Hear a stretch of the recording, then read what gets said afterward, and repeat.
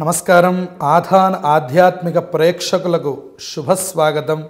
రెండు వేల ఇరవై సంవత్సరానికి సంబంధించి ఫిబ్రవరి నెలలో ద్వాదశ రాశుల వారికి ఎటువంటి శుభాశుభ ఫలితాలు కలగబోతున్నాయో ఈ వీడియోలో తెలుసుకుందాం. ముందుగా మనం మాస ఫలితాలని గమనించుకున్నట్లయితే ఫిబ్రవరి ఒకటో తారీఖున సంభవించనున్నటువంటి యొక్క రథసప్తమితో మనకి ఈ యొక్క నెల ప్రారంభమవుతుంది. అంతేకాకుండా మాఘ పౌర్ణమి అలాగే అనేకమైనటువంటి ముఖ్యమైనటువంటి సంకష్టహర చతుర్థి అలాగే మాఘమాసం అంతా కూడాను చక్కనైనటువంటి వివాహ ఉపనయన దేవతా ప్రతిష్ట గృహప్రవేశ శంకుస్థాపన సుముహూర్తములన్నిటికీ కూడాను ఇది చాలా యోగ్యమైనటువంటి కాలం కనుక అంతేకాకుండా గ్రహాలన్నీ కూడా వాటి వాటి యొక్క స్వక్షేత్రములకు చేరినటువంటి యొక్క శుభ తరుణం కనుక అలాగే దీర్ఘ సంచార గ్రహమైనటువంటి యొక్క శని తన యొక్క సంచారాన్ని మార్చుకున్నటువంటి యొక్క తరువాత వచ్చేటటువంటి యొక్క మాసం కనుక ఈ మాసంలో మరిన్ని శుభయోగాలు అన్ని రాశుల వారికి కూడా కలుగుతున్నాయి అనే అంశాన్ని చెప్పుకోవచ్చు. ఎందుకంటే శని తన స్వక్షేత్రమైనటువంటి యొక్క మకర రాశిలో సంచారం చేయడం బృహస్పతి తన స్వక్షేత్రమైనటువంటి ధనుస్సు రాశిలో సంచారం చేస్తూ ఉండడం అలాగే మిథునంలో ఉన్నటువంటి రాహువు అలాగే గురుడితో కలిసినటువంటి కేతువు దాంతోపాటుగా కుజుడు తన స్వక్షేత్రమైనటువంటి వృశ్చిక రాశిలో ఉండడం ఇక రవి బుధ శుక్రులు వీళ్ళందరూ కూడా వాళ్ళ సంచారాన్ని కొనసాగిస్తూ ఉండడం మాస ప్రారంభ కాలంలో మేషరాశిలో చంద్రుడి యొక్క సంచారం జరుగుతూ ఉండడం. ఇవన్నీ కూడా చాలా శుభమైనటువంటి యొక్క యోగాన్ని అన్ని రాశుల వారికి ఇస్తున్నాయి అనే అంశాన్ని చెప్పుకోవచ్చు. ప్రధానంగా కొంతమందికి అష్టమ అర్ధాష్టమ ఏలినాటి శనులు ప్రారంభమైనటువంటి యొక్క విధానం మనకు కనిపిస్తూ ఉన్నది. మొన్న ఇరవై నాలుగో తారీఖు శని మారినటువంటి యొక్క సందర్భంలో.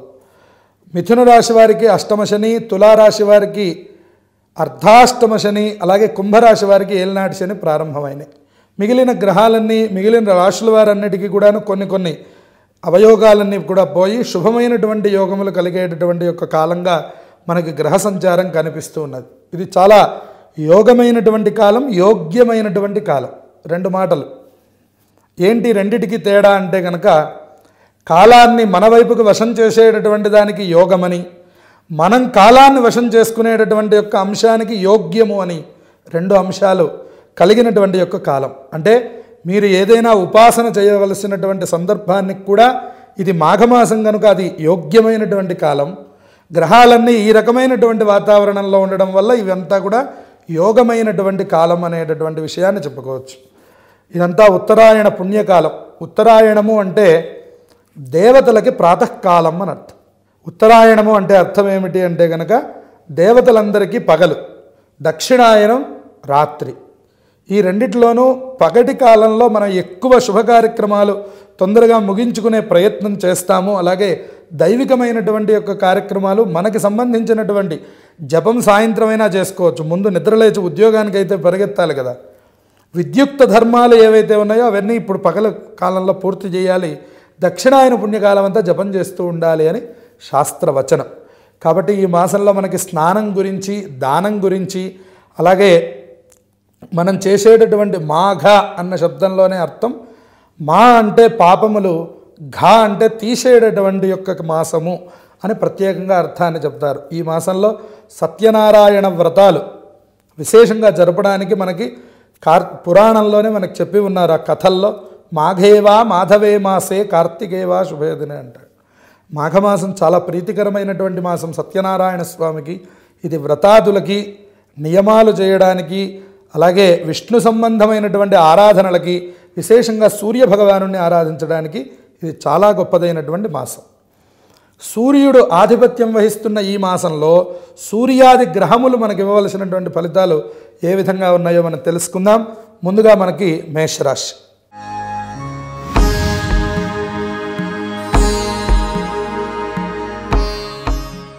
మేషరాశి వారి యొక్క గ్రహగమనాన్ని మనం చూసినట్లయితే అనుకూలమైనటువంటి యొక్క వాతావరణం ప్రారంభమైంది గతంలోనే ఇప్పుడు చాలా యోగంగా ఏర్పడబోతోంది అని చెప్పుకోవచ్చు. కారణం ఆ ధనస్థానంలో ఏర్పడినటువంటి యొక్క గురుడు యొక్క సంచారం. దీనివలన వీరికి సమస్తము అనుకూలములో ఏర్పడబోతున్నాయి అనేటటువంటి అంశాన్ని చెప్పుకోవచ్చు. గౌరవము కీర్తి ప్రతిష్టలు పెంచుకునేటటువంటి అవకాశం అన్ని వైపుల నుంచి కూడా ధనయోగాన్ని పొందేందుకు అవకాశం ఉంది.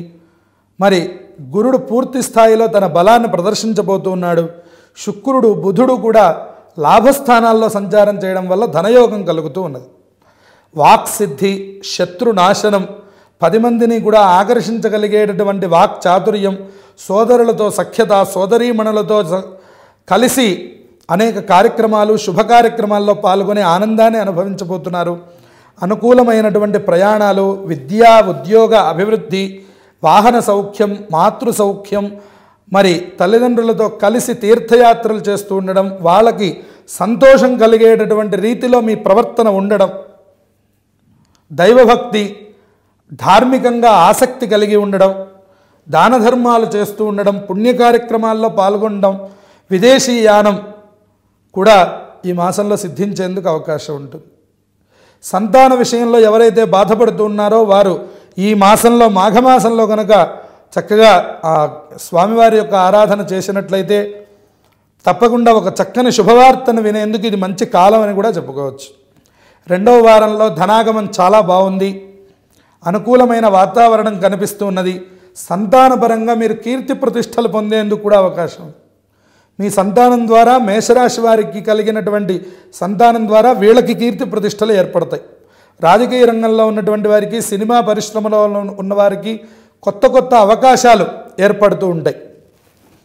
అంతేకాకుండా గ్రూప్ డిస్కషన్స్లో కూడా ఎవరైతే ఉద్యోగ రంగంలో వాళ్ళ యొక్క స్థితిని ప్రారంభించారో మీ యొక్క ప్రయత్నాలు ప్రారంభించారో వాళ్ళకు కూడా చక్కనైనటువంటి విజయములు సిద్ధించబోతూ ఉన్నాయని చెప్పుకోవచ్చు. రైతులకు పెట్టుబడులకు తగినటువంటి యొక్క ధనం లభిస్తుంది. రెండు పంటలు కూడా చేతికి వస్తాయి. కోర్టు తీర్పులు మీకు అనుకూలంగా వస్తాయి. పెండింగ్లో ఇంతకాలం ఉన్నటువంటి పనులన్నీ కూడా విజయవంతంగా పూర్తి చేస్తూ ఉన్నారు.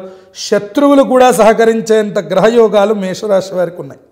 విద్యార్థులకు గురుబలం వలన పరీక్షల్లో ఉత్తీర్ణత కలుగుతుంది. మంచి మీరు అనుకున్నటువంటి యొక్క ప్రాంగణంలో మీరు మంచి సీటు పొందగలుగుతారు. స్కాలర్షిప్లు అవన్నీ కూడా మీకు అనుకూలంగా వస్తాయి. అన్ని రంగాల వారికి కూడా అనుకూలమైనటువంటి కా- వాతావరణం. మేషరాశి వారు మరింత అదృష్టాన్ని చవిచూడబోతున్నారని చెప్పుకోవచ్చు.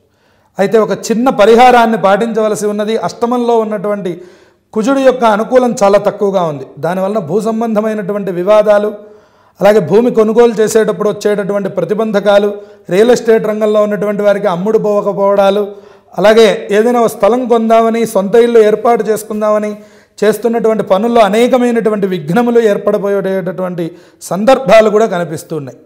వ్యాపార రంగంలో ఉన్నటువంటి వారికి కూడా మంచి అనుకూలం.